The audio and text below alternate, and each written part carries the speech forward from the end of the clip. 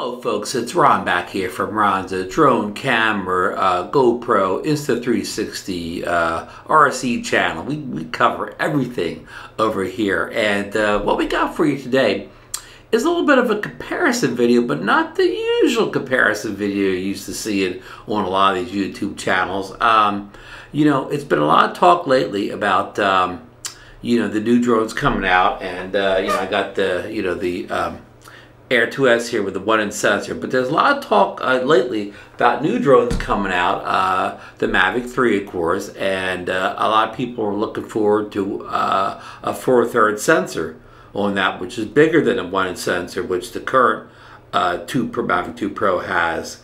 Uh, but so the latest rumors kind of indicate maybe it's not going to be a 4 thirds camera now. We don't really know, but a lot of people were looking forward to this 4 thirds camera. Then we recently got a leak uh, that that Autel 3 is in the works and coming soon. And it will have uh, different variations, but one variation will be the 4 thirds uh, camera. And of course, the X Dynamics Evolve drone, uh, which has you know been on the way out for a couple years now, is going to have a 4 thirds system. And um, the DJI Inspire uses the four the four third sensor also. So it's a big it's a I'm gonna throw a chart up here. It'll show you the sensor sizes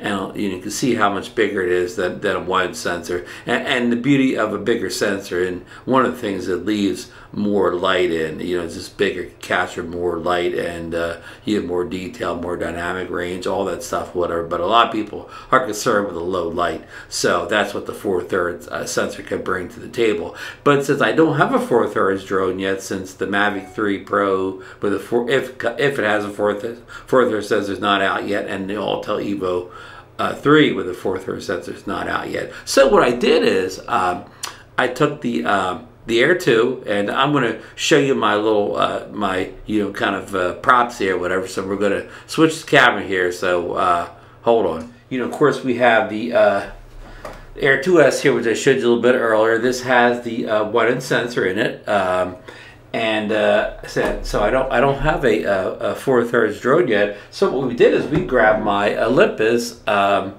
OMD uh, uh, EM1 Mark 2, which is a four thirds camera, and just for the heck of it, uh, we threw in the uh, iPhone 12 Pro, which has a, uh, a, a, one one and three fourths sensor on it. Um, you know, which is kind of an odd thing. I don't think that's even my chart here, but uh, you know, a, a, one and three fourths uh, sensor, so much smaller than either one of these two. And uh, what I did, this is just a photo test only, not not video. I didn't roll any video. This is photos only, um, and we took you know kind of the same photo with with each device. I mean, I you know I, I took a few with the air with the air 2s you know 100 feet or more up in the air, but most of it I try to keep it at a low level, like say 10, 15 feet, so the the photo wouldn't vary that much from the light uh, the other ones were getting because I was taking this at around uh, sunset to obviously test some low light capabilities. So. Um, yeah, so I, I, you know, these photos, you know, they're not side by side exact. Uh, you know, they're going to get the exact same photo from this as you're this, as you're this, but the photos are all taken generally, you know, in the same area. So the photos are going to be similar, but they're not going to be exact. So this is not like a scientific test where somebody, you know, put all three devices on, you know, uh, some kind of big tripod and, and, and, hit the buttons all at once. But uh, I think you'll get an idea of how each one one can perform. And and you know, um, I, you know, I'm be interested to see. I'm not going to tell you my thoughts. I'm going to let you uh, determine you know uh, what you think uh, of the uh, photos and then we'll kind of come back at the end now um, you know even though this has a small sensor on it the one thing this has going for it i think this has better computational uh, you know, uh, photography. I think the software does a better better job of making up for the sensor than in either of these two devices. So this one on the software side, and what I did here is I shot everything in JPEG, like you know, uh, to, you know, I, I could have shot raws or whatever, but just to make it, you know, I, I don't know, fair, nothing's fair, but just to keep it simple. So it would be no kind of editing on my part or whatever. Everything was shot in, in, in JPEGs on all three uh, uh, devices. So uh, the JPEG is a process uh, image. The, uh, the device does, you know, the sharpening and, and, and the various things uh, to it. So and and each device was shot on auto. So each device picked its own white balance, its own IS, you know, ISO. Um, every, so everything we Dr. Autoed, everything Dr. Autoed, everything JPEG or whatever. Uh, so this had no input from me. I haven't edited these images in any way. I had I, I hadn't made any uh, camera adjustments at all to uh, change the image around. So okay, well um, I'm going to show you that clip one more time. the uh, the chart showing the um, the different size. Then we're going to roll like the video, actually just, uh, you know, what do you call it, like uh, uh, when the pictures roll by uh, uh, from three different devices. I would clearly mark uh, what each device is on the images so you'll know. then we're going to come back in the ad for a little conclusion. So, okay, as they say in the uh, in Hollywood, roll that clip.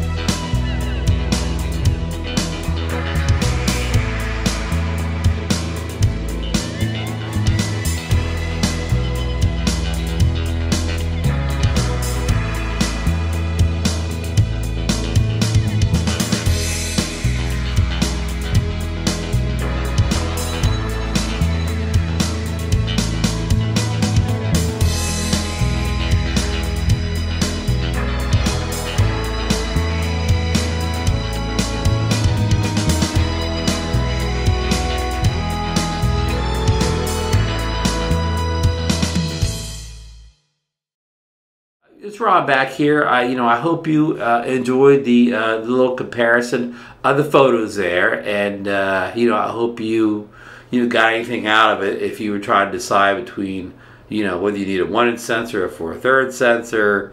And uh, yeah, I hope this helped in, in some way or another. Maybe we'll do a, a video uh, comparison next if, if everybody liked the uh, photo one. So um, yeah, I'm, I'm not going to give my uh, conclusions quite yet. Uh, you know, we'll, we'll keep this up. I just, you know, I want you to tell me down in the comments if you notice any difference, uh, which one you like better, and you know, um, well, you know, what will your buying decision be on your next drone? Will you look for a four thirds or a one sensor? You know, be enough for you. And um, yeah, so um, that's about it for uh, uh this video. Again, I, I just, you know, I heard so much talk about the four third sensor this week that I thought, hey, you know, I can, you know, I could at least do a photo comparison, you know, with the one inch versus the uh, four thirds. So, um, yeah, and again, like I think I mentioned, you have to take into account that each device, um, you create its own JPEG. Uh,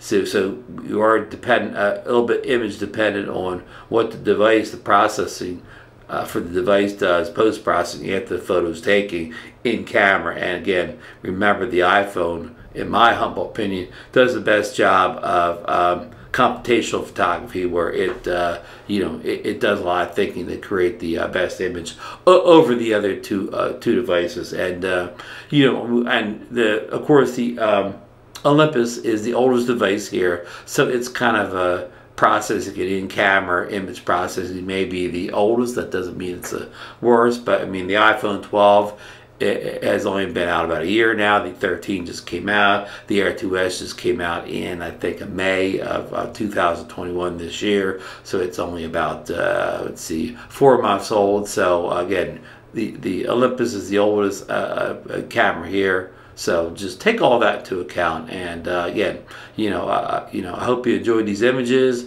You know, I hope this helps you see some of the low light capabilities. And I do want to mention in, um, like in the Olympus, in the first set of Olympus photos you're going to see, um, for some reason the camera kind of I, I guess uh, kept the IOS down or something, and the and the images were uh, much darker than any other image that any of the devices took, or even the Olympus took later on or whatever. So I don't know why those early images were a little bit darker. And you know, just to kind of keep things on, on the fair side here, um, I just kind of threw a, a real generic like. Um, 14 to 150 millimeter zoom on here with um, you know with a, um, a, a, aperture opening from four to uh, four to 5.6 uh, and, and, of course I, I, didn't change these manually. It, it did whatever thought needed but anyhow so I didn't want to throw in a, a real prime lens something with a real low uh, you know uh, aperture opening of a 1.8 or 1.7 or something low. So you know this this 4 would probably you know kind of keep it on an even keel with the other two devices here rather than throwing a prime lens on it. So, uh, okay, I'm not going to go on and on here. I just want to make this kind of a simple video and, uh, you know, see, see what you folks think. And if you want to see me do a video comparison between a one inch and a four thirds, I'll, I'll try to think up something too. Again, unfortunately, the camera can't fly, but maybe I'll put on a high tripod or something like that to give it, you know, a, a little bit of height. So, um, again, I'm going to stop jibber jabbing here and, uh, uh, and let you, uh, you know, maybe rewatch the video again if you want to see the photos a second time. So uh, don't forget to subscribe. Um, uh, hit the like button on this video if you got anything out of it, and then uh, ring the ring notification bell to see more videos like this on cameras and drones and sensors and one-inch sensors and four-third sensors and, and so on. So we got a, a lot of stuff coming to the channel this fall, a lot of drones, a lot of cameras coming out, so it's going to be a busy time, folks. So uh, you get out there, you know, and take some great photos.